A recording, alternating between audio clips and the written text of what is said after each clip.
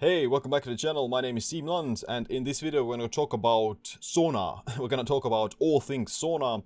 What is the sauna? What are the benefits? How do you do the sauna? And uh, those kind of things. It will be a full guide to taking the sauna basically. Make sure you click like and subscribe as well for future videos about optimizing your health and performance. Do it! Alright, so let's start with the absolute basics. What is the sauna? Uh, essentially, the sauna is this small room that you heat up with uh, firewood, usually traditional sauna, and uh, yeah, you elevate the temperature of that room and you sit there. usually, if you're like in Estonia, or Finland, or Russia, then you're probably there naked as well. And the um, yeah, it's a very traditional, let's say, form of uh, self-cleaning. It's uh, one of the traditional places where people would uh, clean themselves, like in um, in ancient times or in a few even a few uh, century ago people would be born in a sauna and they would also be uh, basically washed their last washing uh, before they're buried was also in the sauna. So it's this kind of almost like a sacred place in these uh, nordic uh, cultures because of the way it you know keeps you clean and it also has a lot of health benefits which we will talking about uh, shortly. What happens in the sauna? Well uh, i'm going to reference to many other studies here and uh, this image is from actual very new 2021 october study or more like a review by Rhonda Patrick actually, uh, sauna use as a lifestyle practice to extend health span. And uh, what the sauna essentially does is that uh, it elevates your core temperature. And of course, it induces sweating as a result of that. But this elevation of core temperature um, also has other effects, like increases your heart rate, it uh, helps with uh, blood redistribution, causes this small amount of heat stress that uh, actually has a beneficial effect on the heart and stroke volume and blood pressure, all those kinds of things, many other health benefits from this small amount of uh, thermal stress that you experience. The normal human body temperature is around 36 to 37 degrees uh, Celsius. And this is the homeostasis, essentially, where your body is functioning the best at, and it takes least energy and least effort to stay, uh, you know, healthy and functional. If you drop below that, you start to experience hypothermia, which eventually can lead to death. Uh, whereas if you exceed that, then this condition is called hyperthermia or a fever, basically. This uh, fever, you know, is obviously can also be lethal in uh, excess, uh, but it also has uh, some uh, good health benefits. What essentially happens is that uh, when you're in the sauna, you experience hyperthermia, you cause a small fever, and the fever evolutionarily has been um, one of the um, one of the most common and one of the best let's say, immune responses to any kinds of infections and uh, diseases. So if you are getting sick with some sort of a pathogen, then the fever is a very natural and a healthy response uh, to that. Because with a higher body temperature, you uh, do see some immune system boosting benefits and you can also potentially kill off these uh, pathogens with the heat. So the fever is very uh, evolutionarily viable. And even like suppressing fever with these anti-fever medications uh, then uh, can be actually damaging and can, can, be actually lethal in some cases. So the fever is very healthy uh, in moderation. Excess fever obviously can lead to death, but uh, a small fever for an infection and for uh, the immune system is beneficial. And the sauna uh, mimics that. With you know the hypothermia has other benefits which we'll talk about, but the fever aspect is one of them. The heat that you do experience from hypothermia follows this hormetic bell curve that uh, describes the small amount of toxin or stress that has a beneficial effect on the body. And in small amounts, in moderate amounts, it has a positive effect, which is great. It increases resilience and increases other health parameters, whereas if it's in excess, then it's eventually going to have diminishing returns, which will be harmful. And yeah, too much in excess will actually be uh, damaging. And the same applies to everything like exercise, sauna, cold, fasting. They all have this hormetic uh, bell curve. In small amounts, it's great in excess is harmful. So what does the sauna do? I'm gonna reference back from the uh, Rhonda Patrick paper. So heat stress, it uh, has been associated with many health benefits, like it reduces the incidence of cardiovascular disease, reduces muscle atrophy or uh, muscle loss, it reduces the risk of neurodegeneration and increases health span, which describes this um, functional fitness and functional health span or functional, you know, being youthful and being healthier for longer. The sauna, because it increases your core temperature, increases your heart rate, increases sweating, increases blood flow, all those things, it is considered like an exercise mimetic. And uh, exercise, obviously, is very known to be healthy for us. And the sauna puts you into a similar physiological state that your body thinks that it's almost exercising. You, uh, when you sit in the sauna, then you notice your heartbeat uh, racing a little bit. You're getting slightly tired, uh, but not overly exhausted. It's not like sprinting. It's not sprinting. It's more of like a real brisk, brisk hiking, and uh, a lot of those benefits are mediated by this uh, hyperthermia, increased the core temperature and increased heart rate. From a vascular side, it improves vascular compliance, improves endothelial function, improves blood flow, uh, can be beneficial for potentially clearing out the plaque with because of that, and uh, also blood pressure improves. Um, although your like heart rate increases in the sauna after you come out, your uh, let's say basal resting uh, blood pressure would uh, generally get better as a result of that because of this small exercise. Uh, exercise improves blood pressure and uh, the regular sauna use as well. Although, like if you have already hypertension and high blood pressure, then you may want to be more cautious uh, with the sauna and exercise as well. You don't want to be doing some crazy heat. You don't want to be raising your body temperature and blood pressure too much if you already have high blood pressure. But in for healthy people, is actually one of the best things for prevention, preventing against the hypertension. And lastly, what also happens with the sauna is the activation of these uh, heat shock proteins. And uh, these heat shock proteins are essentially molecules that have many benefits. So one of them being um, preventing protein aggregation, repairing different kinds of uh, damaged molecules, and uh, being like almost antioxidant, not antioxidant, but uh, they do repair these um, dysfunctional cell parts and uh, eliminate any potential inflammatory molecules that also may sp spread around. Heat shock proteins. So uh, from the same paper, what do heat shock proteins do? Uh, heat shock proteins have been found to be uh, very beneficial for just general longevity and anti-aging. And the main reasons for that has to do with um, repairing misfolded proteins and preventing protein aggregation, like I said, these kind of damaged molecules. And the research does find that the heat shock proteins, different kinds of them, have a protective effect against uh, neurodegeneration, heart failure, cardiomyopathy, atherosclerosis, and even it's going to slow down muscular atrophy. So um, they reduce muscle break breakdown, which is beneficial for you know bodybuilding, but especially longevity as well. What the heat shock proteins do is that they uh, repair misfolded proteins and uh, as a result of that, your uh, body will experience less damage and less inflammation and uh, will be healthier. The heat shock proteins also uh, promote autophagy, which uh, will additionally help to clear out different kinds of, you know, um, inflammatory molecules, weak and broken cell parts, all those things that cause uh, oxidative stress inside the body. Those will be removed with the help of autophagy and the heat shock proteins. Let's move on to some of the benefits of the sauna. Uh, so uh, obviously, or probably the biggest uh, or the biggest effect of the sauna is associated with heart health, and uh, it is pretty uh, well researched that the sauna reduces uh, heart disease mortality and the risk of heart disease quite a lot. So this study from Finland, 2018, saw that the people who took the sauna more than four times a week had a 63% reduced risk of uh, heart disease mortality and a 40% reduced risk of all cause mortality compared to those who did it only once a week. So the blue line is once a week, green line is the uh, more than four times a week. Two to three times is still better than once, uh, but more than four times is, you know, even greater, even much a huge, much bigger um, decrease in the risk. And obviously, this is only once a week. Once, even once a week is beneficial compared to no times at all. So imagine what would the risk be uh, in people who don't do the sauna at all. And uh, yeah, it, it, seems that you know the more you do the sauna, then the healthier it is. Almost um, doing it every day is uh, is fine actually. So I don't think that it's gonna be harmful for you. Um, you may want may not want to do it yeah like you may want to do it like every other day optimally but yeah as this study shows that even like four times more than four times a week is still um, beneficial. Like you can still see some hormetic benefit from doing it more than four times a week, and there doesn't appear to be a point of diminishing returns uh, from this uh, frequency yet. The reasons why uh, the sauna improves uh, cardiovascular disease uh, is multifold. One of them is actually yeah the shock proteins themselves.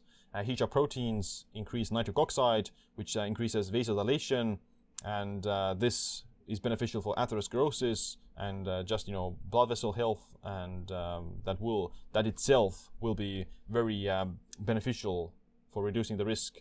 Then there's also the um, nitric oxide that increases angiogenesis which angiogenesis is the process of growing new blood vessels. So uh, obviously you want to have your um, your uh, muscles and uh, organs well supplied with enough blood and uh, with inadequate angiogenesis or without adequate uh, blood vessel formation you know the obvious the risk of strokes and uh, thrombosis and those kind of things uh, would be higher HIF1 alpha is a hypoxia inducible factor 1 alpha and that is also apparently well, you do experience some aspects of hypoxia during exercise, and uh, the sauna mimics some aspects of exercise. So the uh, hypoxia increases VEGF, which is a vascular endothelial growth factor, which also it grows uh, new uh, blood vessels. So yeah, more blood vessels, the blood vessels are going to be healthier, more blood flow, um, improved blood flow uh, from that.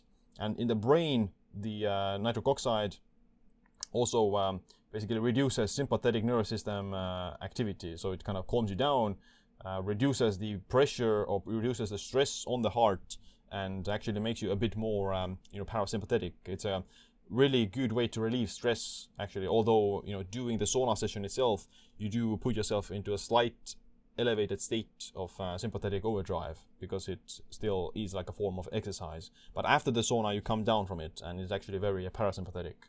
For heart disease avoiding obesity and avoiding insulin resistance is also very important because metabolic syndrome uh, diabetes they increase your cardiovascular disease risk a lot. And the sauna is also actually been found to uh, reduce both the you know, heart disease, but as well um, have some protective effects against metabolic syndrome, diabetes, and uh, obesity. So um, the shock proteins, what they do is they uh, do increase insulin signaling. They make you more insulin sensitive, and they improve the glucose uptake into the cells, which is uh, good. You don't want to have you don't want to be insulin resistant, and you you don't want to have high blood sugar levels either. So the uh, sauna actually helps to lower your blood sugar uh, by doing that. The second biggest benefit from uh, the sauna use is uh, with uh, neurodegeneration. So there are a lot of studies that find how uh, heat therapy can be beneficial for protecting against uh, Alzheimer's, Parkinson's, uh, cognitive decline, and any kind of neurodegeneration.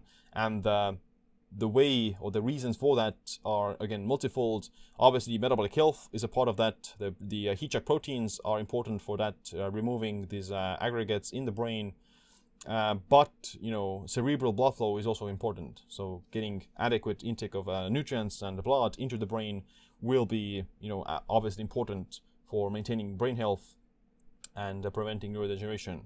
One like hidden, uh, let's say, benefit of that would be also the muscle function. So uh, having more muscle, having more strength, although it's like a you know considered to be a physical trait, it's still very important for the brain as well because with more muscle you have better metabolic health you will uh, probably have better blood flow as well, and uh, strength training itself also has benefits uh, on the uh, brain. And uh, heat therapy, it has been found to be actually a positive thing uh, for muscle hypertrophy and muscle strength. It improves muscle mass, it improves recovery from exercise, and improves your metabolic health in, in total. This study, again from Finland, 2017, found that uh, the men who used the sauna four to seven times per week had a 66% lower risk of dementia and a 65% lower risk of Alzheimer's compared to men who used the sauna only once a week.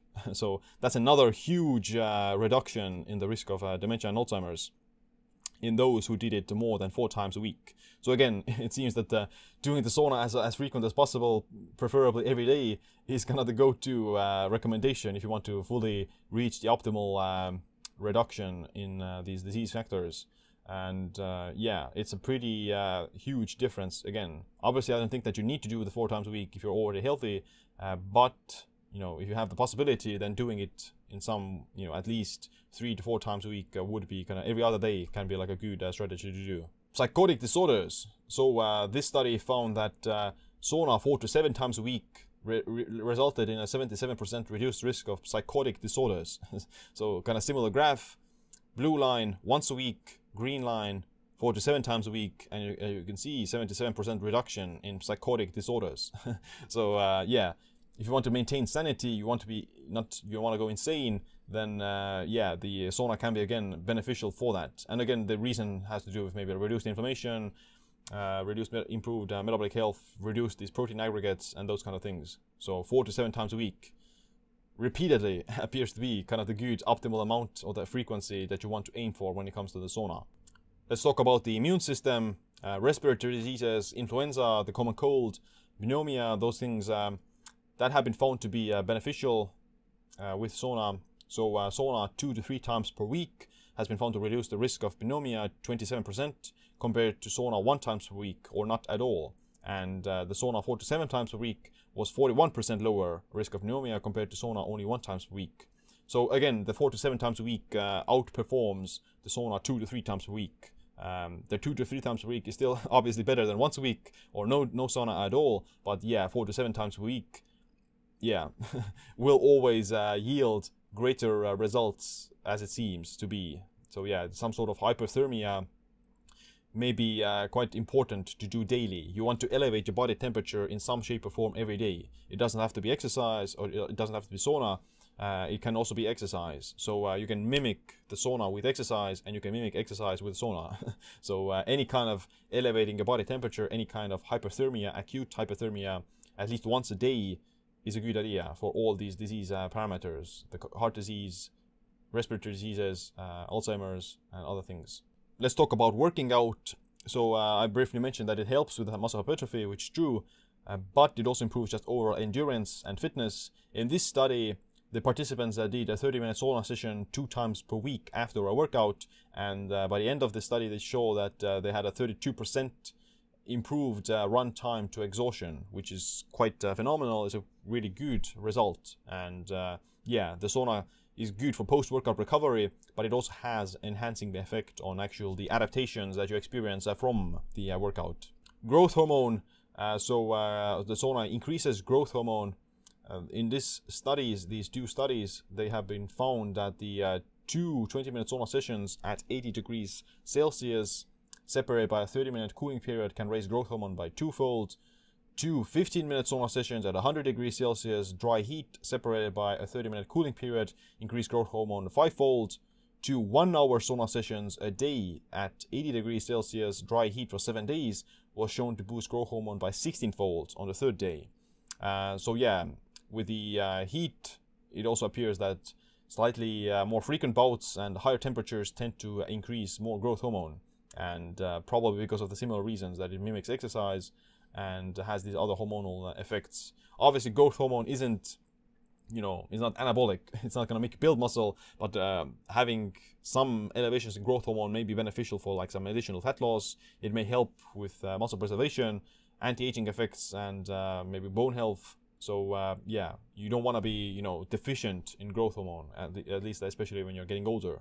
Muscle loss. So the heat shock proteins they uh, do repair these protein aggregates, but they also reduce protein breakdown. And the growth hormone contributes to that. The growth hormone is anti-catabolic to a certain extent, and it has been found in studies that uh, the sauna use uh, heat treatment reduces um, muscle atrophy. So local heat treatment reduced skeletal muscle atrophy by 37% compared to placebo. In this study, they actually immobilized the people. They uh, caused them an injury and uh, the um, two hours a day of uh, heating versus the uh, sham or the placebo, the no no no uh, heat treatment group, they saw that the uh, heat, heat group saw a 37% reduced muscle skeletal atrophy which is uh, you know important for many things. It's gonna be important for uh, cancer cachexia, sarcopenia, aging, and those kind of things. Uh, but if you're interested in bodybuilding, then uh, that's also something that you may want to consider. That if you want to reduce your muscle catabolism, then exposing yourself to some heat uh, can be a good thing. Fibromyalgia, uh, or like you know muscle soreness, chronic fatigue, those things can also be improved with the sauna use, as it turns out to be. And in this study, they particularly the uh, the functional discharge capacity was uh, much higher in the group who uh, got exposed to hyperthermia or basically the sauna or some heat therapy, and their discharge was um, looks like it's like 15% higher or something like that compared to uh, no uh, heat exposure. So yeah, you know. if you don't want to be in, in pain, if you don't want to be sore all the time, then yeah, maybe you want to expose yourself to some sauna. And from my own experience, I can tell that yeah, it's really good for just achy joints, any kind of uh, muscle soreness, and those kind of things, especially if you combine it with a cold. You do the sauna, you jump into the cold, and you can almost like instantly lose any kind of uh, soreness or like aching achiness. Depression. So uh, the heat hypothermia also apparently uh, reduces uh, the depression scores in this study. Uh, effect of whole body hyperthermia versus sham treatment on 17 item Hamilton depression rating scale across the six week post intervention period. And as you can see, the white dots is the uh, sauna or the hypothermia group, and their depression scores were much lower than the ones who received the sham treatment. Although both apparently saw some sort of uh, a reduction. Um, the sham didn't get the hypothermia, but the maybe the combination of the sauna with the traditional uh, depression treatments uh, would yield a bit uh, greater reductions in depression scores. But it does appear to plateau around like uh, week two. Uh, so yeah, you may want to, you know, still want to do it regularly, but you may not see like additional benefit after week two or week four. Let's talk about the detoxification. So sauna is uh, actually very good for detoxification because of the sweating aspect. Sweating is uh, essentially the main mechanism through which we detoxify uh, things um, from our bodies. Those can include uh, heavy metals, different kinds of plastics, uh, chemicals, yeah, those kind of things. And uh, there are a lot of studies that find that the the it is possible to sweat out those toxins and metals from your sweat, and the sweat is uh, a bigger excreter of these uh, compounds than uh, urine, for example. So the concentrations of these metals and uh, toxins is uh, greater in your sweat than in your urine. So uh, yeah, you do want to sweat on a regular basis, especially if you're exposed to some sort of um, toxins or heavy metals. This study, yeah, took the actual comparison blood, urine, and sweat study monitoring and elimination of bioaccumulated toxic elements. So you can see the black one is the sweat, much greater excretion of these different kinds of uh, metals uh, than in the urine. So uh, yeah, you can't piss out heavy metals apparently, you need to uh, sweat them out. Bisphenol A, BPA, and all these or organochlorine pesticides, herbicides, they're also uh, excreted through the sweat. Alright, let's take a brief pause, a brief break I'll just uh, repeat, uh, give an overview about the health benefits of the sauna and the hormetic uh, kind of uh, bell curve. So what the sauna does, it reduces inflammation, which is good for body pain and reduces risk of dementia. It improves your insulin sensitivity, eliminates toxins, kills viruses and pathogens, increases growth hormone. The better blood flow reduces risk of heart disease, and the HEATR proteins will uh, conduct autophagy, DNA repair, and glutathione, which is the antioxidant, master antioxidant in the body. So those are the benefits. Some potential negative side effects or the potential harm you may get from the heat or the sauna include uh, dehydration, losing electrolytes, losing minerals, heat exhaustion, like you could pass out in the sauna, you could die to that. So it's no joke. Um, arrhythmias, if you have pre-existing cardiovascular complications or pre-existing uh, high blood pressure, then you may want, you have to be more careful with the heat and you may experience arrhythmias more easily. Uh, but the arrhythmias may also occur if you're healthy because of being uh, deficient in certain uh, electrolytes and minerals. So if you become deficient in, let's say, sodium, magnesium, and calcium, sorry, calcium, yeah, potassium, and then um, you may also get arrhythmias, although you have no actual cardiovascular disease. Strokes, obviously, if you have, again, cardiovascular disease, and burn injuries. So getting burned either by touching the stove or something like that, or if it's like super high temperature, like 120 degrees Celsius, then you may also get burned on your skin. Another potential side effects of uh, excess heat, especially around the testicles, is uh, suppression of uh, spermatogenesis. So um, too much heat, especially around the testicles, will shut down uh, the um, production of sperm, and it may uh, reduce sperm count if you're doing it chronically.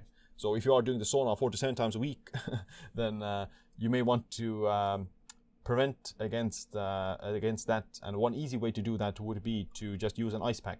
So this is like a really trendy thing, uh, uh, at least among my followers and um, some other people like um, Lucas Aoun from uh, Australia who kind of popularized this would be to yeah, use some sort of an ice pack on the testicles, either in the sauna or afterwards. I like to do it like afterwards, like um, I'm not using it in the sauna, but after the sauna, I usually use the ice pack maybe five to ten minutes, something like that, and uh, that will resume the normal um, spermatogenesis process.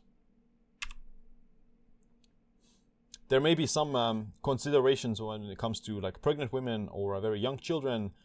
So uh, yeah, I wouldn't say that a pregnant woman should go like some really hot sauna and uh, ramp up the heat to 100 degrees Celsius or something. Um, but the uh, there are studies that find that the use of like 70 to 100 degrees Celsius or 10 to 30 minutes doesn't really have like any um, negative effects on things like birth defects or uh, other other complications. And the Finland, where most people do the sauna all the time, they actually have the uh, lowest rates of anencephaly, anencephaly, which is some sort of a birth defect um, in the world. So uh, yeah, although they do take the sauna, even pregnant women probably all the time, they don't appear to have these birth def- defects. So you don't have to worry about it, but still, you know, be a bit more cautious. You know, don't exceed maybe 80 degrees Celsius. 70 to 80 degrees Celsius for a pregnant woman is, uh, I think, good enough, and it may actually improve the health of the child as well by you know causing some heat shock protein response, and obviously keeping the uh, mother also healthier. There is a threshold the, where where it becomes uh, dangerous, and uh, the th- threshold appears to be around 38.9 degrees uh, Celsius. So if your uh, the mother's uh, body core temperature raises basically to 39 degrees Celsius, then uh, that is gonna be uh, problematic. So you want to keep your uh, body temperature lower than uh, 39 degrees Celsius when you're pregnant, and yeah, you don't want to be doing too much heat, basically. All right, so let's look at the timeline of the sauna. Like when do certain things happen? When do those benefits come? Obviously, you can't sit in the sauna for two minutes and get all the benefits. You need to sit there for a little bit uh, so initially, you know, when you start to sweat, then you will see already some excretion of these toxins and heavy metals um, because uh, yeah you don't need to be sweating profusely to achieve that effect. Any kind of sweating can uh, do that. And usually if you sit in the sauna for at least like 5 to 10 minutes then you, you start to see some uh, more sweat uh, coming. And the same applies to the heart rate. You will see like a slight increase in your heart rate already within like 3 minutes uh, but it uh, does start to ramp up significantly at 10 minutes or so. 15 minutes, this uh, will be uh, like increased white blood cells, uh, which is beneficial for the immune system and uh, eliminating infections. So yeah, that is a good thing. Uh, you do can also see this increase in growth hormone uh, up to fivefold based upon the study that I mentioned earlier. All these other things, all these other time points are also based on studies. I'm not, not, making them up. They're all based on the studies that I've already mentioned and the other references that we use in our books, like uh, the Immunity Fix with Dr. James and my own book, uh, Stronger by Stress. So yeah, this is an actual timeline, not something that I make up. Um, yeah, growth hormone increases fivefold around 50 minutes. Cardiovascular benefits you can start to see around 20 minutes. So your you know the same to like exercise. If you're just exercising for five minutes then you may not see the cardiovascular benefits but this 20 minutes of moderate elevation in your heart rate will uh, provide additional these heart benefits and the cardiovascular benefits that you start to see. Heat shock proteins uh, kick in at 20 to 30 minutes. So yeah you do need to experience some aspects of this heat stress and uh, elevated temperature to start to see the heat shocks heat shock proteins. Uh, you can't see the heat shock proteins if you just sit there for two minutes. You do need to sit there for at least 20 minutes to start to see the heat shock protein response, and the heat shock proteins then repair damaged molecules and misfolded proteins. 30 minutes, your blood sugar will start to drop uh, because of uh, this improved insulin sensitivity that happens. You increase GLUT4, which is one of the uh, glucose transporters. That increases around 30 minutes, and that also shuttles the uh, glucose into the cells, which will uh, result in uh, lower blood sugar levels. You could get it a bit faster, maybe 20 minutes if it's the temperature is uh, higher.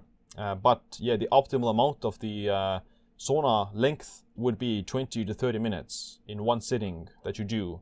Uh, you can't dissect it. like you can't do 10 minutes of sitting in a sauna, then going out 10 minutes again, and then reaching 30 minutes. Maybe you will experience some, uh, but ideally you would want to sit there at least 20 minutes in one go and really, really ramp up this uh, heat shock protein response and really ramp up the GLUT4 activation and uh, get all the cardiovascular benefits. So yeah, at minimum you want to get uh, 20 minutes in one sitting, then go out, maybe take a slight cold shower, an ice bath or something, and then go back in for maybe like 15 minutes or something. Mm. 30 plus minutes, you will start to see this uh, dehydration because of losing water and uh, minerals. Um, that can be prevented if you consume electrolytes, those kind of things. Um, but yeah, like the longer you stay there without drinking any water, then uh, you could pass out from that. So you have to be careful with that. Some people are more uh, vulnerable to that, um, especially if you, if they go hyperglycemic as well. If they've been uh, fasting while going to the sauna, then their blood sugar levels may be already slightly lower, and they may get hypoglycemia and they may pass out much faster compared to someone who uh, has taken their electrolytes, has drunk water, and um, is also having uh, normal blood sugar levels. 60 minutes, you will see this uh, huge increase in growth hormone, 60 fold. Um, uh, but you don't need to do that. Like, see, I don't know I wouldn't say that a 16-fold growth hormone increase is better than a 5-fold growth hormone increase. There's no studies that compare it, and you know, with growth hormone, more isn't always better, and you don't. It's not like this huge miracle hormone that you need to have a hundredfold to see some health benefits. Like probably a five-fold uh, growth hormone increase itself is already uh, pretty good. 60 plus minutes when you're over an hour, then you will start to yeah see a great loss of minerals, especially salt, uh, sodium, and the risk of heat shock may also go up the risk of heat shock can be easily uh, reduced and prevented if you cool down in between the sessions. Let's say you do 30 minutes of the sauna, you take an ice bath for like two minutes, you go back in, then you can you've completely like mitigated the risk of heat shock because you cool down your body. But if you stay in the sauna for 60 plus minutes in one go, not going out at all, just sitting in there, throwing in the um, the leil, the lolu, then uh, yeah, your risk of heat shock can be uh, quite high, and you can you can pass out. People have died from the sauna like the, in the world world uh, sauna championships, the uh, one of the finalists died from uh, heat shock or and excess heat. So, but you, regular regular people don't usually die unless they're super pushing the temperatures.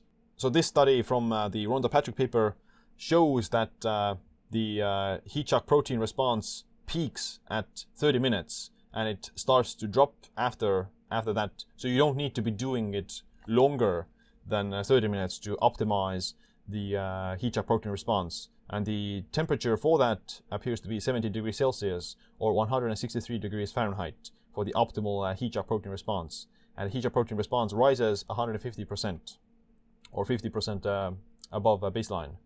And uh, in uh, people who are uh, acclimated, they're acclimated to the heat, then they actually see a greater increase, the greater concentration of the heat shock proteins uh, up over 200%, almost like 250%, which is 150% uh, above baseline. Whereas the non-acclimated individuals tend to see a bit less of this uh, heat protein response, which goes to show that goes to show that actually you're not going to see a point of diminishing returns even if you do the sauna more often and more frequently. So it appears that you still get heat shock proteins even if you are super acclimated to the heat and it appears to be that you get even more of this heat shock protein response, especially if you are used to the heat and especially if you have been acclimated uh, to this uh, heat exposure. From a duration perspective, then there's also been studies comparing the duration of a single sauna session. So the same authors from Finland, Laukkanen, 2015, uh, they found that uh, the compared with men having a sauna bathing session of less than 11 minutes, the adjusted hazard ratio for sauna bathing sessions of 11 to 19 minutes. For sessions lasting uh, more than 90 minutes, there was a, a significantly lower all-cause mortality and significantly um, reduced the risk of uh, fatal cardiovascular events. So uh, yeah, 11 minutes is worse than 19 minutes, so to say. So 19 minutes uh, tends to be better than 11 minutes when it comes to the duration. And uh, like I said, I think the 30 minutes is probably kind of the optimal amount. So yeah, short sauna sessions, they may be reducing the risk a little bit, uh, but the optimal risk reduction is around 19 minutes and uh, beyond that, 30 minutes probably, if you want to get the heat shock protein response as well. And the temperatures, I think, uh, are again usually around like 70 to 80 degrees Celsius uh, with these uh, Finnish studies. Usually that's kind of the minimal where you want to uh, go into sauna, 70 degrees Celsius with the uh, traditional sauna. Another break, let's do another pause, a brief overview what is going on. We have the sauna cheat sheet, which we've made Instagram post with Dr. James. What are the main benefits of the sauna? So it increases insulin sensitivity, it improves your brain health, reduces neurodegeneration, improves immunity, detoxifies you, and has heart health benefits. The optimal temperature based upon the studies is around 156 to 212 degrees Fahrenheit, uh, which in Celsius is 70 to 100, 100 degrees Celsius, not 700. so 100 degrees Celsius is kind of the good maximum amount. You don't need to go above that. You don't need to go 120. You're not going to see additional health benefits uh, from that. You only got to get burned. you may get burned and uh, you may you like you could increase your physical physical uh, resilience against the heat, uh, but it's um, you know usually people don't need to do that. Usually they're gonna show off if they want to go to 120 degrees uh, Celsius. Like I could sit there easily, but I don't think that it's healthy. Or it could be healthy, but it's not like needed. You don't need to do that. The optimal length is uh, 20 to 30 minutes per session in one sitting. So to say, you sit there for actually 20 minutes um, in one sitting, and the optimal frequency would be two to four times a week or above that. Mm, I personally do the sauna. You know, I try to do it every day so I would end up getting like five to six times a week. Uh, but I also also use the infrared sauna. I use the traditional sauna maybe once or twice a week. Um, and uh, yeah, but I still get like uh, four over four times of uh, heat exposure per uh, week. Let's talk about the minerals that you do lose uh, from sweat from the book Mineral Fix. The references for this graph with Dr. James. it's based upon studies on sweat in exercise, uh, one hour of exercise. Uh, but obviously, sauna mimics exercise, and I think that you actually sweat more in the sauna than you do while exercising. And you, and so this graph would actually be even greater when when we were to take it from the sauna. But regardless, what are the minerals that you lose in your sweat? So iron and calcium, you lose a little bit, very small amounts, like uh, 0.16 to 0.63 milligrams of iron and 40 milligrams of calcium which is a very small amount uh, and it's nothing to really worry about. Like you can get it from just you know eat, taking one bite of meat or something that you'll get more than that fr- from that. So you don't have to worry about iron and calcium when it comes to minerals from sweat. Selenium 40 micrograms, zinc 0.4 milligrams, potassium 140 milligrams, and magnesium 8 to 10 milligrams. These are also fine. Like the these amounts are also pretty low. Like 8 to 10 milligrams of magnesium is not that much 0.4 milligrams of zinc is low and yeah you don't you don't necessarily have to replenish those minerals either but moving on with chromium 7.5 micrograms copper 0.4 to 1.5 milligrams and iodine 52 micrograms uh, these are a bit more significant uh, losses so the rda for chromium is like 11 to 14 micrograms so almost like a half of your daily chromium you can lose in one hour uh, copper also 0.4 to 1.5 milligrams. Your RDA for copper is like optimal intake of copper would be like 3 milligrams. So again, like almost a half. And iodine, 52 micrograms. Uh, the RDA for iodine is 100 to 150 micrograms. So again, almost like a half of your iodine. So yeah, these are the minerals that you do want to replenish. Um, chromium, copper, and iodine, uh, especially after the sauna. With chromium, the easiest and most reliable way to get chromium is to take a chromium supplement, like chromium picolinate, um, helps with insulin and helps with diabetes as well. I do take for other purposes. I think it. There are studies that also find that it may help with like body composition and insulin sensitivity overall. Um, so I take chromium picolinate like 200 to 1000 micrograms uh, on the days that I do the sauna. Uh, this is not, you know, that you have to do, uh, but that's what I do at, at least because the absorption of chromium from food is also pretty low. It's like 1%. So if you want to replenish 7.5 micrograms of chromium with food, you have to consume maybe, yeah, like a, 100 micrograms of chromium mm, or yeah, 70 micrograms of chromium, which is, uh, unless you're eating mussels, unless you're eating like three ounces of mussels or three ounces of oysters, then it's hard to uh, achieve that. Copper you could replenish that with just liver, take one ounce of liver and you got it. Uh, iodine, 50 micrograms of iodine, you could get maybe from some fish and um, sea vegetables, those kind of things. You don't need to, yeah, supplement iodine if you're eating uh, seafood. Uh, but you may want to do that if you're not eating seafood. And lastly, salt is the biggest loss when it comes to minerals, sodium and chloride. You lose a half teaspoon of salt per hour of exercise. And when it comes to sauna, a 30 minutes, I would, I think it would apply to 30 minute sauna session. So you would lose a half teaspoon of salt from a 30 minute sauna session. Um, to replenish that, you just, you can salt your food or you can drink salted water. Um, something like that, a half teaspoon is uh, very easy to uh, replenish. Let's talk about the difference between dry saunas and steam saunas. So, uh, you know, both of them cause hyperthermia. Both of them have hyperthermic effects. They raise your core temperature have these beneficial effects on um, just overall health and cardiovascular benefits. The difference, main difference, is that the dry sauna tends to be hotter.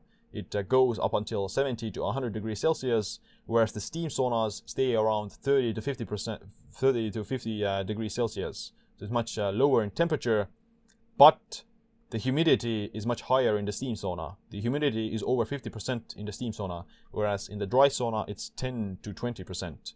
And because of that, you subjectively feel that the steam sauna is hotter because of the humidity. And you think that it's hotter, but it's actually lower temperature.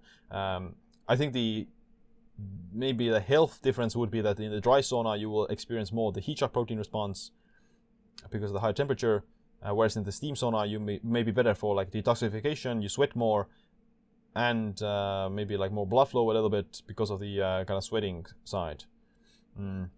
The difference would also be that in dry sauna you can throw loulu or leil, which is, describes this uh, taking the water with a cup and throwing it on the sauna stove, uh, which creates this vapor. Uh, it kind of resembles maybe like the steam sauna in some sense. Briefly, acutely, the loulu uh, will uh, raise the temperature. It feels it's hotter because of the increased humidity, but it drops down afterwards. Uh, so it doesn't stay constantly high temperature. Um, yeah, which one is better? Well, I do prefer the dry sauna because it's not as hot all the time as the steam sauna. Uh, but obviously the steam sauna is also fine. So people always ask like, can I can I still get the benefits of the uh, sauna from the steam sauna or the steam rooms? And the answer is uh, yes, you probably can.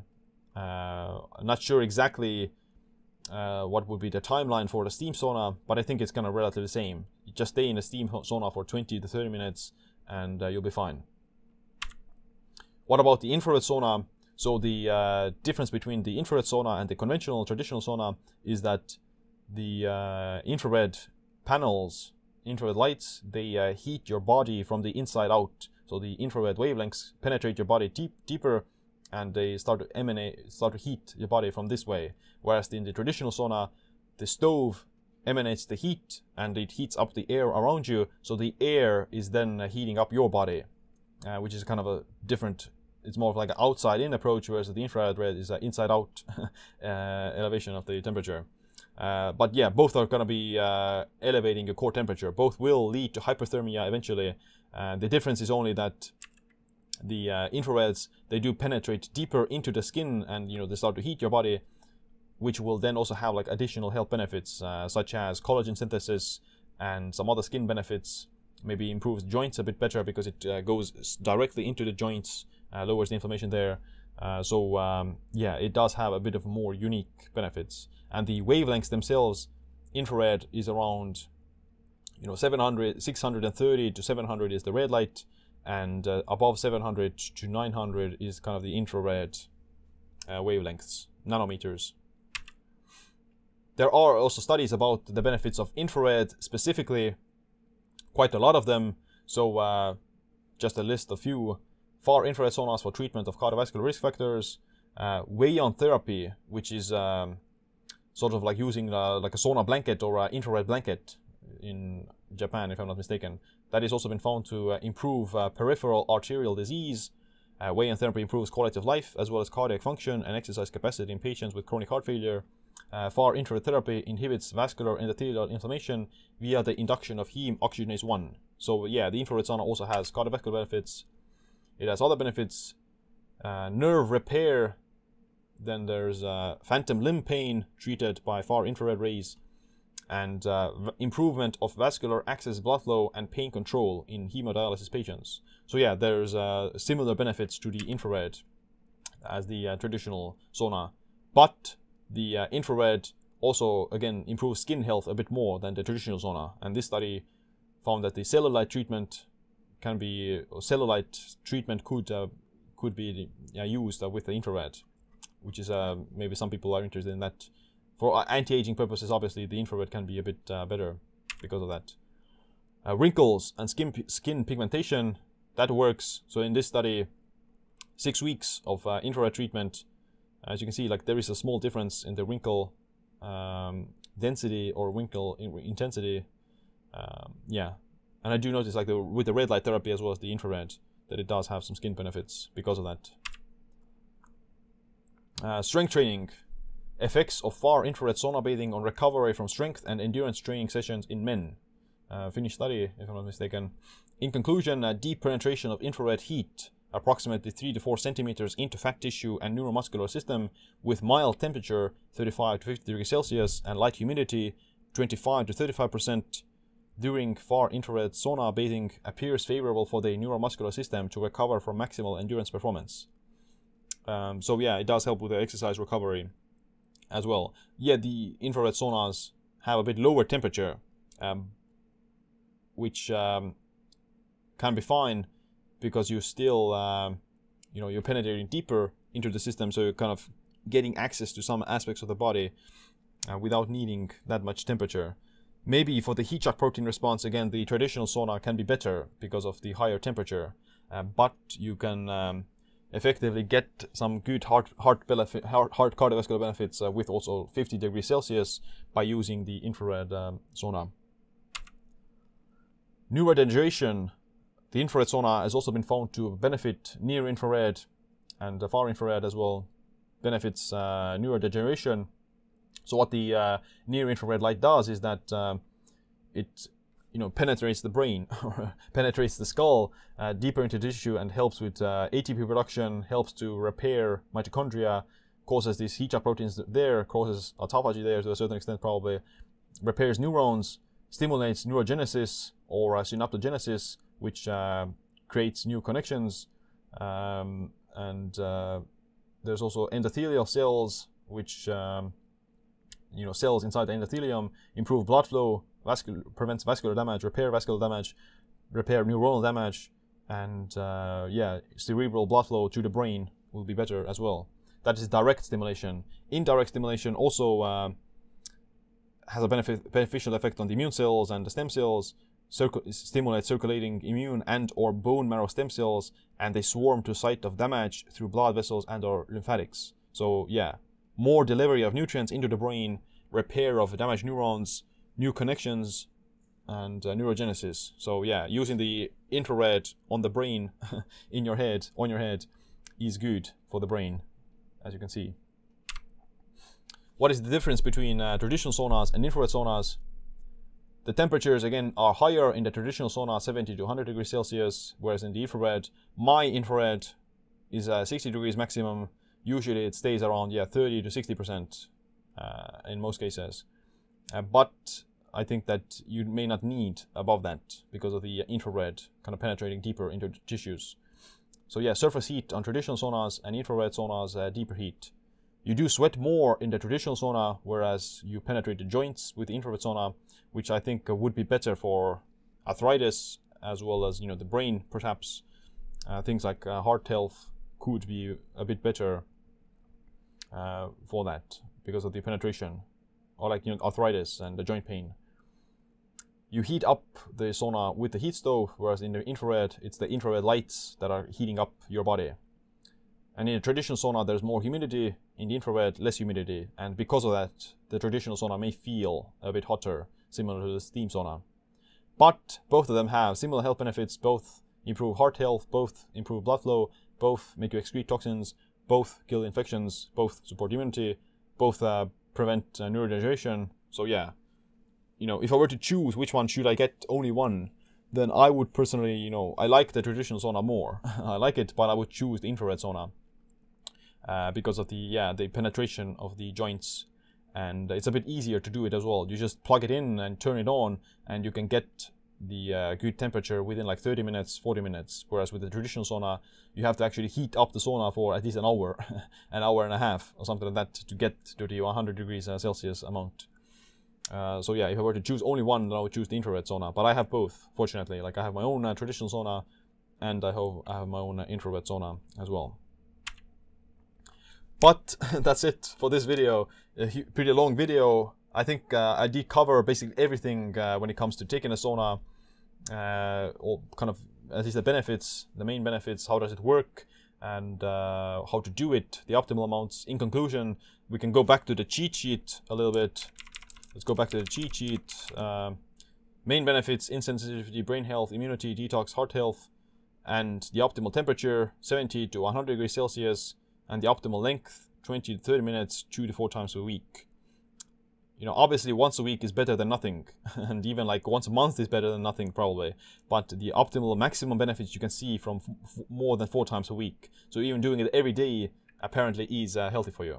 All right. In conclusion, the sauna is healthy for you. you should do it. I think everyone can benefit uh, from it in some sense. Uh, and if you want to learn more about it, then check out my books that I've written on this topic, The Immunity Fix and Stronger by Stress. Other than that, thanks for watching this video. Make sure you click a like, subscribe, notification bell as well. My name is Siim. Stay optimized, stay empowered.